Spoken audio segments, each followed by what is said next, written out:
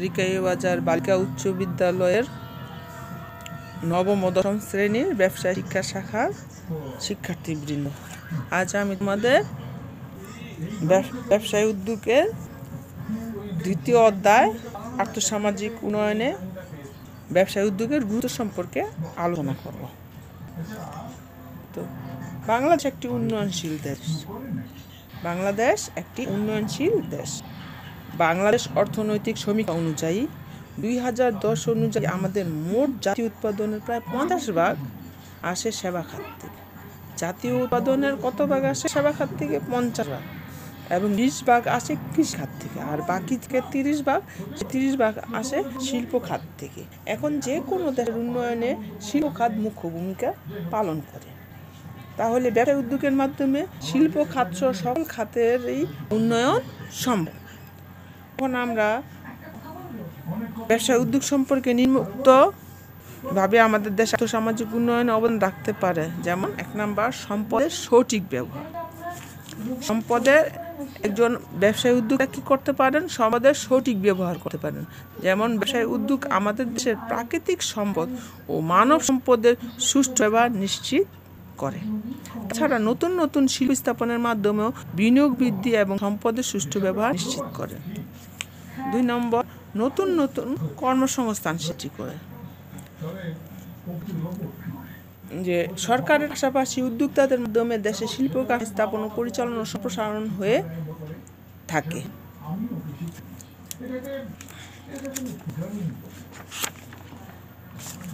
এর মাধ্যমে নিত্য নতুন কর্মসংস্থানের সুযোগ সৃষ্টি হয়, যা বেকার সমস্যা দূর করে উল্লেখযোগ্য ভূমিকা রাখতেছে। তারপরে তিন নম্বর জাতীয় উৎপাদন ও আয় বৃদ্ধি। জাতীয় উৎপাদন এবং আয় বৃদ্ধি। ব্যবসায় উদ্যোগের মাধ্যমে দেশের জাতীয় আয় বৃদ্ধি পায়। ফলে সরকার কি করে? কর্তৃক নির্ধারিত জাতীয় আয় বৃদ্ধি লক্ষ্যমাত্রা অর্জন করা সম্ভব হয়। তারপরে আছে দক্ষ মানব সম্পদ সৃষ্টি। দক্ষ মানব সম্পদ সৃষ্টি। বাংলাদেশ একটি জনবহুল দেশ। আমাদের এই বিশাল জনসংখ্যায় আমাদের কি সম্পদ? এখন এই সম্পদকে ব্যবসায় উদ্যোক্তা কি করে? দেশের অদক্ষ জনশক্তিকে।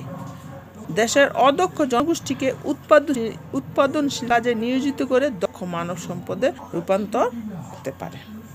পাঁচ পরনির্ভরশীলতা দূরীকরণ। ব্যবসায় উদ্যোগের মাধ্যমে আমরা আমাদের পরনির্ভরশীলতা অনেকাংশে হ্রাস করতে পারি। কারণ ব্যবসায় উদ্যোগের মাধ্যমে আমরা একদিন অর্থনৈতিকভাবে স্বাবলম্বী হতে পারব। এখন আলোচনা করব হলো ব্যবসায় উদ্যোগ গড়ে ওঠার অনুকূল পরিবেশ। এখন আমরা দেখব আমাদের দেশে ব্যবসায় উদ্যোগ গড়ে ওঠার অনুকূল পরিবেশ কীভাবে তৈরি হবে। আমরা যদি উন্নত বিশ্বের দিকে লক্ষ্য করি, তাহলে দেখতে পাই যে তাদের অগ্রগতির এক প্রধান কারণ হলো ব্যবসায় প্রতিষ্ঠান পরিচালনা ও সম্প্রসারণের অনুকূল পরিবেশ।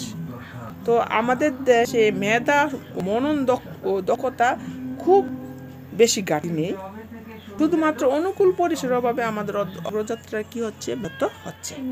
ব্যবসায় উদ্যোগে গড়ে ওঠার জন্য নিম্ন অনুকূল পরিবেশ থাকা আমাদের দরকার। যেমন উন্নত অবকাঠামোগত উপাদান।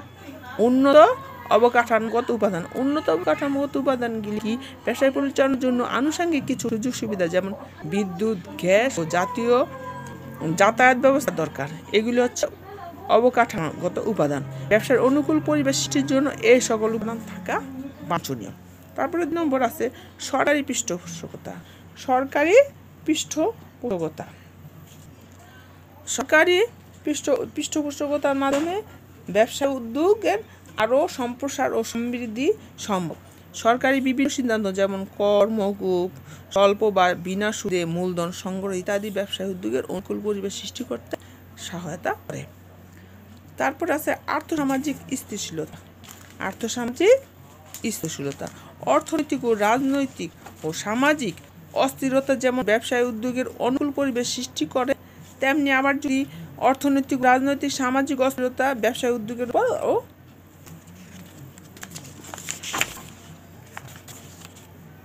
উদ্যোগের উপরও প্রভাব বিস্তার করে।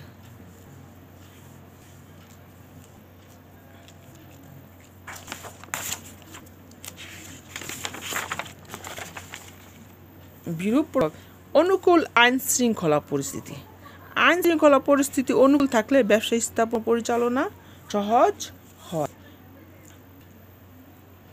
তারপর আছে পর্যাপ্ত পুঁজি প্রাপ্যতা। যে কোনো ব্যবসায় উদ্যোগ সফলভাবে বাস্তবায়ন করার জন্য প্রয়োজন কি পর্যাপ্ত পরিমাণ পুঁজি বা মূলধন?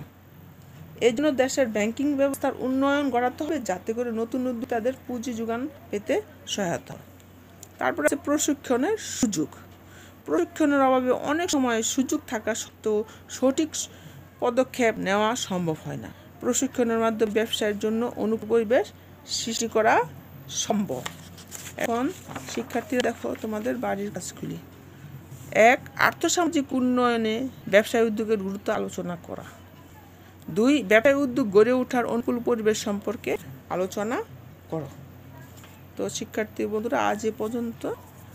ভালো থেকো, সুস্থ থেকো খুদা হাফেজ।